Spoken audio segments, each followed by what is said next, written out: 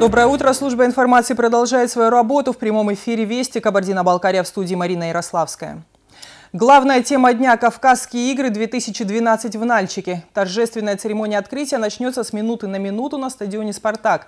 Огонь, по примеру Олимпийского, должен вспыхнуть в столице республики. Почетное право зажечь его выпало Карине Мезовой, известной покорительнице Вереста Эльбруса. Старт спортивной борьбе даст глава Кабардино-Балкарии Арсен Каноков. Ждут и приезда полпреда в СКФУ Александра Хлопонина. Напомним, право провести очередные третьи по счету игры в Нальчике получила Кабардино-Балкария, завоевавшая первое общекомандное место в Кавказских играх 2011 в Черкеске. Напомню, игры были учреждены в 2010 году правительством России и впервые состоялись в районном центре Хабес Карачаева-Черкесии. Этот спортивно-этнографический фестиваль в КБР тоже проходит под патронажем полномочного представителя президента РФ в СКФУ Александра Хлопонина. В соревнованиях принимают участие главным образом спортсмены-любители, но в некоторых видах спорта задействованы и профессионалы. Победители получат призы и денежные вознаграждения, образования. На проведение фестиваля из федерального бюджета выделено 11 миллионов рублей. Деньги направят на аренду спортивных сооружений, оплату работы судей, транспортные расходы, награждение победителей и призеров. А для участников из семи республик округа на стадионе «Спартак» начались финалы по 18 национальным видам спорта. Уже в разгаре борьба за победу шахматистов. В настольном теннисе тоже в эти минуты определяются призеры. А в универсальном спорткомплексе женские и мужские волейбольные команды соревнуются за тройку пьедестала. Одновременно с ними уже на самом «Спартаке» за медали борются легкоатлеты, борцы на поясах и прыгуны.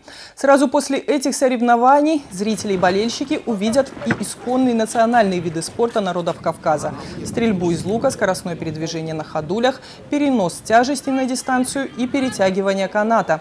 Итоги имена победителей судьи назовут сегодня же ближе к вечеру. Планируется, что награждение спортсменов пройдет на стадионе «Спартак» во время закрытия игр в 19 часов.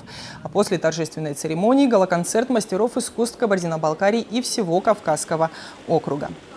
А безопасность почти полутора тысяч участников Кавказских игр и 15 тысяч зрителей фестиваля на время его проведения обеспечивают сводные отряды сотрудников республиканских органов внутренних дел и из сопредельных с Кабардино-Балкарии регионов. С учетом оперативной обстановки в дни проведения спортивного форума утверждена многоуровневая система безопасности. Пропускной режим с использованием металлодетекторов и средств видеонаблюдения будет действовать на площади Абхазии, стадионе «Спартак», в Зеленом театре и универсальном спорткомплексе комплексе. Контролируют правоохранители въезды в Кабардино-Балкарию ее столицу. Работа госавтоинспекторов усилена на стационарных постах. Сохранены также и ограничения движения транспорта в самом Нальчике. Проезд по проспекту Ленина от улицы Балкарской до Кулиева закрыт. Как нельзя будет сегодня проехать и по проспекту Шагинцукова от улицы Балкарской до Торчокова. МВД просит жителей республики с пониманием отнестись к вводимым ограничениям, а также проявлять бдительность. Финалы по национальным видам спорта в рамках фестиваля «Кавказские игры» на стадионе «Спартак» и в универсальном спорткомплексе уже начинаются. А накануне судейские комиссии определялись с победителями предварительных этапов соревнований. Отборочный тур состязаний стартовал вчера играми по волейболу среди женщин. Определились команды, которые сегодня продолжают участие в играх.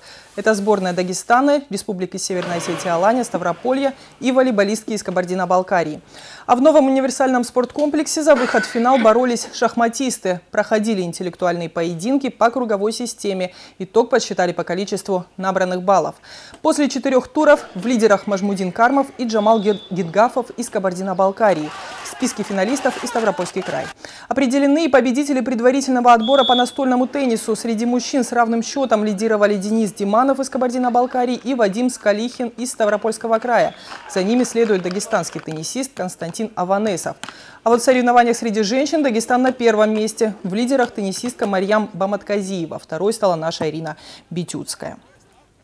Напомню, посмотреть финалы национальных видов спорта можно на стадионе «Спартак» и в универсальном спорткомплексе. Вход везде бесплатный, но пригласительные билеты все-таки потребуются. Получить их можно в кассах «Спартака».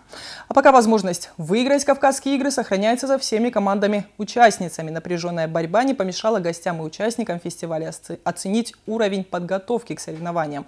Год от года фестиваль расширяется, растет количество спортивных дисциплин, увеличивается число участников и гостей. Но неизменным остается одно – теплая и дружеская атмосфера спортивно-этнографического форума, в чем убедился накануне и мой коллега Казбек Гикиев. Мастерски горцуя на своих железных конях, команда байкеров из Москвы демонстрирует удаль перед камерой. Ребята едва успели сойти с поезда, как сразу же поспешили на площадь Абхазии, чтобы отрепетировать сложнейшие элементы своего мотошоу. Оно должно стать изюминкой развлекательной программы фестиваля. Умелая джигитовка на двухколесных скакунах вызывает бурные эмоции собравшихся. Немного доработанные байки, по словам их хозяев, особой мощью не отличаются. В этом деле главное – умение балансировать. После тренировочного выступления москвичи охотно поделились первыми впечатлениями. Нальчик э, очень классный, много красивых девушек. Э, тепло у нас в Москве, сейчас дождик, в смысле там прям холодно и как бы достаточно гостеприимный.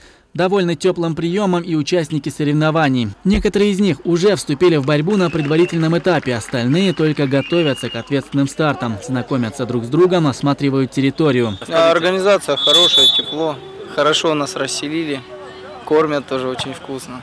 В принципе, и погода порадовала тоже. Для каждого вида спорта здесь э, отдельные ну, предоставлены спортзалы, э, есть Олимпийский огонь, очень ну, красивые представления. По сути, Кавказские игры можно сравнить с олимпийскими. Те же эмоции, тот же спортивный кураж и такие же правила.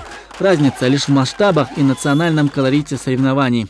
При этом объединяющая и дружелюбная атмосфера межрегионального форума не снимает основной спортивный принцип. Есть понятие «главное участие». Вот для меня главное не участие, главное победа. Я так считаю. Кто на этот раз примерит на себя лавры победителя, будет ясно в ближайшее время. Но уже сейчас бесспорно одно – Кавказские игры 2012 своей главной цели – укрепление межнациональной дружбы достигли. Казбек Гикиев, Асламур Захандохов, Вести, Кабардино-Балкария. А с 10 утра для гостей на площади Абхазии открыты национальные подворья народов Кавказа. С минуты на минуту там ждут глав республик и членов официальных делегаций. На площади сейчас работает и наша съемочная группа. Фатима Магомедова выходит на прямую связь со студией. Фатима, здравствуйте. Расскажите, что сейчас происходит у вас? Доброе утро, Марина. Праздник, можно сказать, уже начался. Здесь, на площади Абхазии, сосредоточен весь Кавказ, семь национальных подворий. В их числе и Дагестанский Майдан, и Казачий Курень, традиционный кавказский сакли, стилизованный под старину. Республиканская площадка сделана в виде Эльбруса. Строили ее почти неделю. Выставки экспонатов из этнографических коллекций музеев Республики СКФО уже готовы. К показам готовятся мастера национального костюма всего округа. В целом настроение уже хорошее, людей немало. Ждем руководителей делегации, главу республики Арсена Канокова. Организаторы обещают угощения для гостей, подворья весь день открыты для посещения. Успеть можно и нужно, ведь наблюдать подобное удается не каждый день. Марина. Фатима, спасибо. С площади Абхазии, где развернуты национальные подворья и начался этнографический праздник в рамках фестиваля «Кавказские игры» была Фатима Магомедова. К этому часу пока все. Новый, новый репортаж уже в 14 часов 20 минут. До встречи.